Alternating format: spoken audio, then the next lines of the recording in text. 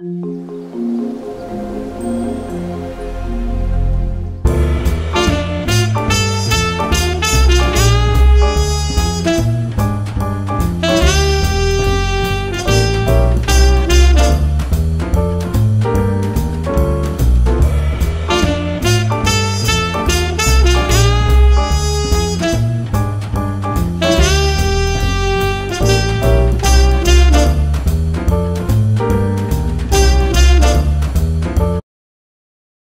Hi, I'm Paul Zaloom. You probably know me better as Beakman. Beakman, the guy in the green lab coat with the the hair, that guy.